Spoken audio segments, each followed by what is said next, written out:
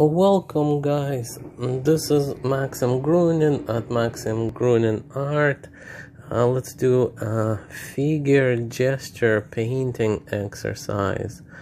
I am using uh, black and white acrylics and uh, a, a kind of a finer brush to be able to draw easily with and I am mixing a lot of water into into the black paint diluting it and making the paint very movable so that I can quickly draw and uh, paint in areas that I am that I am trying to paint or draw.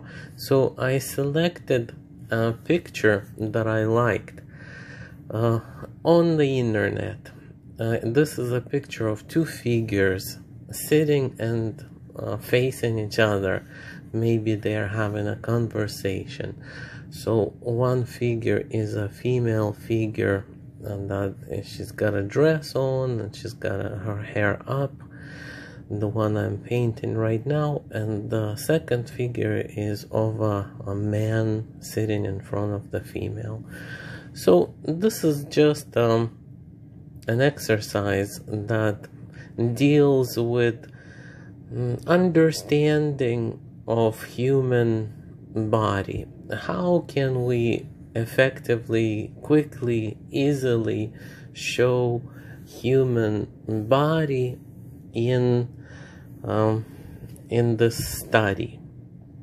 So I am combining uh, a shadow with mid-tone and with a little bit of light at the end.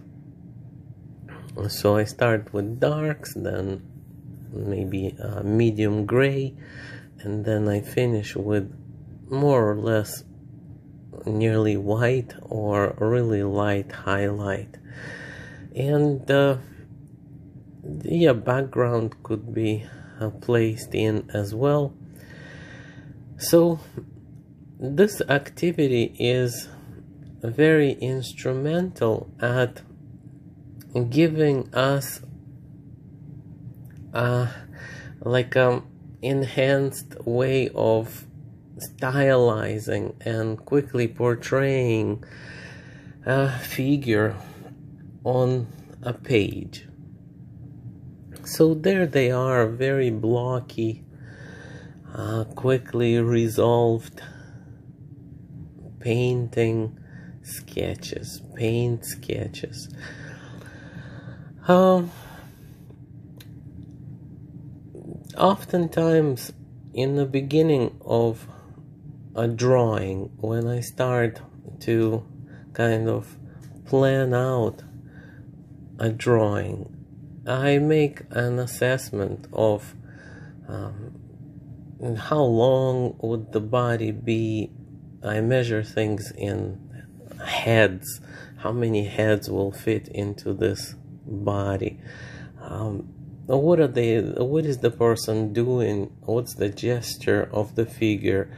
Um, how can I effectively use dark and light contrast to give this drawing a character or to portray what I'm trying to portray. So here's a man maybe shivering, maybe holding a bag, a plastic bag in his hand.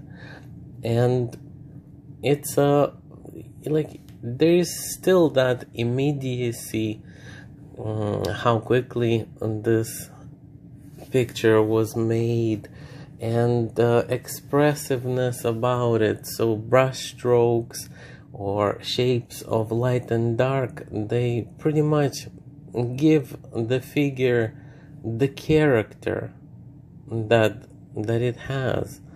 So uh, here I am showing once again another figure is being painted in a very similar way. So black is used in the beginning to figure out the proportions, the pose, the entirety of the figure, and then um, lighter and darker gray is used to further define just a, ever so slightly a few areas. You know, I defined the head a little bit, some of the facial features, and uh, maybe a couple of lighter areas on the legs, on the chest, on the hands, and that's it.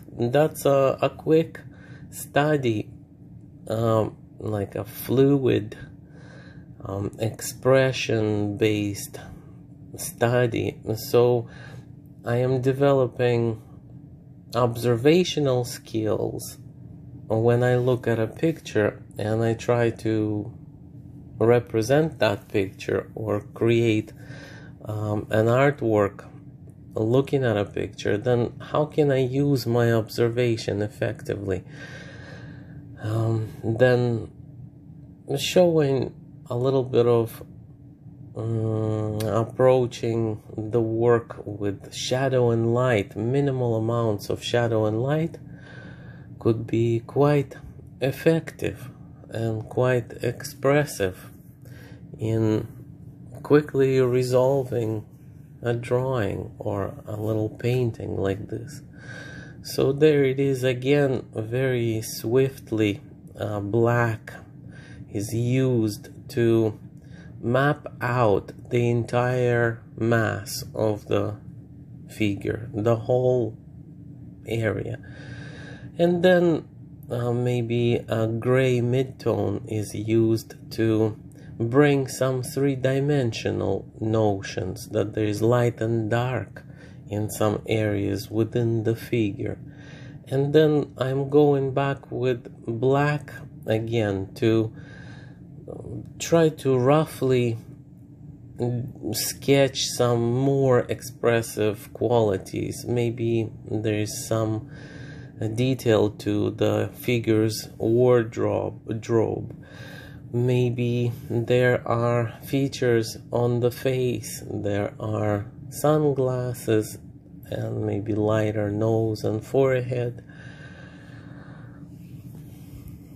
And uh, here and just a few really quick black and white just using black and so to reinforce the notion that a lot could be done with very little bit. Look at how expressive and capable the brush with a little bit of diluted black paint is. You can easily and quickly map out the figure um, give the figure characteristics of gender, what the outfit may be, what the general pose of the figure may be. Let's get a lot of this practice in.